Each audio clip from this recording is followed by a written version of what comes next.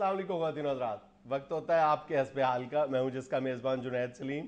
Show में हमेशा की तरह मेरा साथ दे रही है नाजिया बेग और हम सबको बहुत अज़ीज़ अजीजी। अस्सलाम नाजरीन। अस्सलाम नाजरीन आज मैं इस सुलगते हुए मौजू की तरफ़ आना चाहता हूँ जिससे मैं भी सुबह का सुलग रहा हूँ। यार भाजनाद वो तुमने खबर पड़ी है? ऑस्ट्रेलिया की जो वज़ीर है वो कह रही है कि क्यामत आने वाली हो गई। वो ऑस्ट्रेलिया की वज़ीर आज़म नहीं कह रही। लाखों अमरीकी कह रहे हैं लाखों यूरोपियंस इस खौफ में मुब्तला हो चुके हैं कि 21 दिसंबर को क्यामत आने वाली बाईस दिसंबर को तो आड़ू ग्रेनेड ने मेरी दावत रखी हुई है। ओए, या फिर ऐसे करते हैं कि मैं उसको नहीं बताता मैं मैं अपनी जो मेरी उसने दावत करनी है हाँ। वो मैं रख लेता हूँ वी को। अच्छा। और जो मैंने उसकी दावत करनी है वो भाई को करा दे। वैसे हाथ धो गई है अंग्रेज़ी वाली भी अमान से। मैं तो सोच सोच के तो हंस रहा हूँ दिल्ली दिल में। कि देखो कितने ये पढ़े लिखे लोग हैं हमें ये जयफुल तकादी का ताना देते हैं। हाँ। हमें कहते हैं कि ये बड़े जाहिल हैं बड़े ही बिल्कुल बेवकूफ़ लोग हैं। और खुद देखो इनकी हरकतें किस तरह की हैं। भाई कौन सी क्यामत की तरीके देनी शुरू हो गई हो? क्यामत लाने वाला तो वो ऊपर कायनात का मालिक क्यामत की घड़ी का इल्म सिर्फ़ अल्लाह रब्बुल इज़्ज़त को है। और इनकी साइंस कहना शुरू हो गई है कि बाईस तारीख को क्यामत है इनकी साइंस नहीं इनकी साइंस तो डिनाई कर रही है लेकिन साइंस की मानने को तैयार नहीं है। अच्छा। इस मामले में डेली नासा की वेबसाइट पे लाखों लोग ईमेल्स भेज रहे हैं कि खुदा के लिए हमें बताएँ कि 21 दिसंबर को क्या होने वाला है और नासा बार बार लोगों को ये यकीन दहानी करा रही है कि ये सब बकवास बातें हैं जयफुल कुछ एतकादी है फजूल चीज़ें हैं। कुछ हाय, नहीं होगा लेकिन देखो ये पढ़े लिखे लोग। हाँ। जिनको चंगी भली अंग्रेज़ी आती है यार मुकम्मल बल्कि अंग्रेज़ी आती है। एक्टिव वाइज पैसिव वाइज आती है डायरेक्ट इनडायरेक्ट आती है। सारे टेंस आते हैं। फिर देखो कह रहे हैं कि जी बाईस तारीख को जो जिन लोगों को डायरेक्ट इनडायरेक्ट और एक्टिव और पैसिव वॉइसेस आते हैं ना उनका आलम ये है कि गूगल पे जाओ तो ये जो मायान प्रिडिक्शन मायान या माया प्रेडी या डूम्स डे ये दो लफ्ज है जो सबसे ज़्यादा सर्च वर्ड्स है जिनको सबसे ज़्यादा गूगल पे सर्च किया गया है। अच्छा। जनाब लोग इस कदर परेशान है यानी सत्रह पाउंड की एक किताब फरोख्त हो रही है यूरोप में और अमेरिका में सर्वाइवल बुक जिसमें ये बताया गया है कि क्यामत से बचने के तरीके क्या हैं। वाह वाह क्यामत से बचाव के तरीके। हाय हाय हाय हाय हाय। क्यामत से बचने के तरीके सतारह पाउंड सतारह पाउंड सतारह पाउंड। क्यामत से बचने के तरीके सतारह पाउंड सतारह पाउंड। हाय हाय हाय। वाह जी वाह पढ़े लिखे लोग। यानी कि अल्लाह ताला की तरफ़ नहीं ध्यान देना उसकी बातों पे अमल नहीं करना। अपने सतारह पाउंड के तरीके निकाल लिए। फ्रांस का एक छोटा सा कस्बा है बुकारेक्ट। उसकी आबादी सिर्फ़ 200 अफराद पर मुश्तमिल है। और इन लोगों का गुमान या एक जयफुल एतकादी ये है कि बुगारेक के इर्द गिर्द एक मैग्नेटिक फोर्स मौजूद है एक मैग्नेटिक फ़ील्ड मौजूद है जो किसी भी क्यामत के इम्पैक्ट को रोक देगा। इस वजह से आज बुगारेक की जो आबादी है वो बीस हज़ार से ज़्यादा हो चुकी है।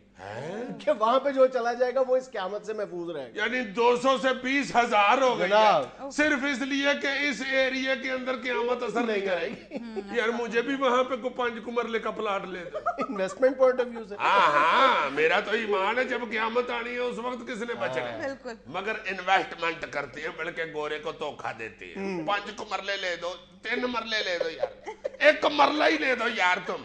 मैं क्यामत से को घंटा पहले भेज दूँगा, बहुत तगड़ा करके। उसके बाद क्यामत आ जाएगी, गोरा मुझसे ही नहीं करा सकेगा, पैसे मैं ले गया हूँ मैं कहूँगा, भाई जी, क्यामत में मेरा अंगूठा चढ़ गया, मैं अंगूठा नहीं लगा सकता। तली लगवा ले लगवानी है।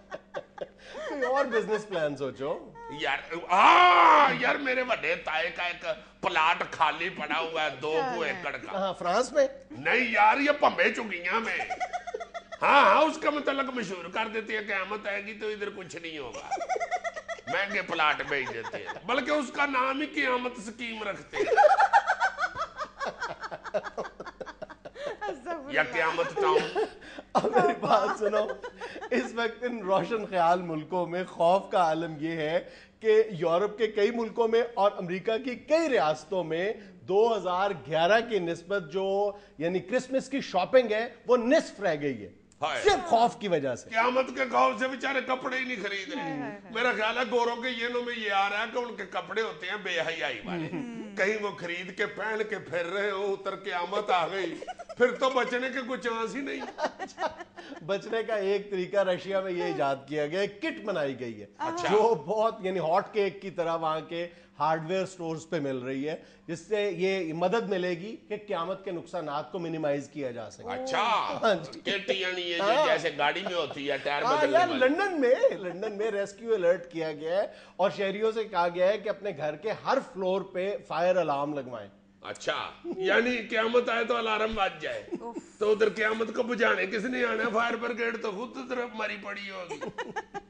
अच्छा सर देखा जाए तो दुनिया की एक बड़ी तादाद जो है इस खौफ की लपेट में है जिसमें पढ़े लिखे लोग भी हैं। हाँ। तो इसकी कोई ना कोई बेसिस तो होंगी ना कोई वजह तो होगी। बस सीधी बात है इत्तेकादी है और क्या है? वो ये कहते हैं कि ये असल में मायान प्रडिक्शन है ना? माया तहजीब जिसको कहते हैं हम जो जिसका जो सेंटर था मैक्सिको था। अच्छा। और कहा यह जाता है कि जी मैक्सिको की जो तहजीब है दुनिया आज जिस नहज पे तरक्की के हवाले से खड़ी है अपनी जो इल्मी तरक्की है मैक्सिको कई सौ साल पहले ये माया तहजीब उस स्टेज से गुजर चुकी है। अच्छा। वो ये कहते हैं कि जी एस्ट्रोलॉजी है। ये जो माया कैलेंडर है जो यानी माया एस्ट्रोलॉजी की रोशनी में तरतीब दिया गया है वो ये कहते हैं कि उसकी कई पेशगोइयाँ दुरुस्त साबित हुई हैं। उसने कहा था जी माया तहजीब के कैलेंडर में एक आ गया था कि इस यूनिवर्स के सेंटर में एक ब्लैक होल मौजूद है। फिर ये प्रिडिक्ट किया गया था कि उस ब्लैक होल से कोई एनर्जी रेज निकलेंगी जो यानी सूरज को एजिटेट कर देंगी। और कहा यह जाता है कि उन्होंने 1922 का ये ज़िक्र किया गया। है तो साइंसदान आज ये कहते हैं कि ये जो दुनिया का दर्जा हरारत बढ़ा है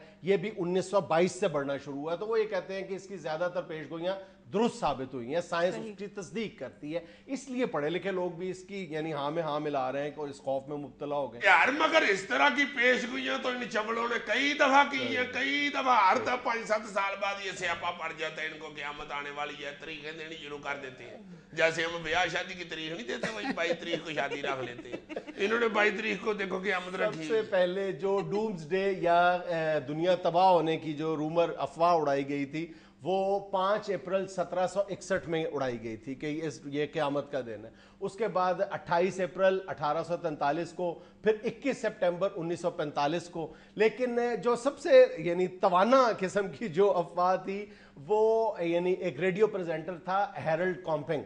उसने सबसे पहले 21 मई 2011 को कहा था कि जी, क्यामत आ रही है। जब वो दिन खैरियत से गुजर गया तो उसने कहा था कि जी, कोई सितारों की चाल में कोई गड़बड़ हो गई है। ये 21 मई को नहीं, अब 21 अक्टूबर को आएगी। 21 अक्टूबर को भी कुछ नहीं हुआ। कैसे कहते हैं कि जी, हमने शादी आगे कर ली हमारी नानी फौत हो गई है। इसी तरह का उसने को बहाना लगा लिया होगा कि मेरी नानी फौत हो गई है, मैंने क्यामत आगे कर ली तो बंदा पूछे, तुम नानी की उम्र देख के तो तरीक दो।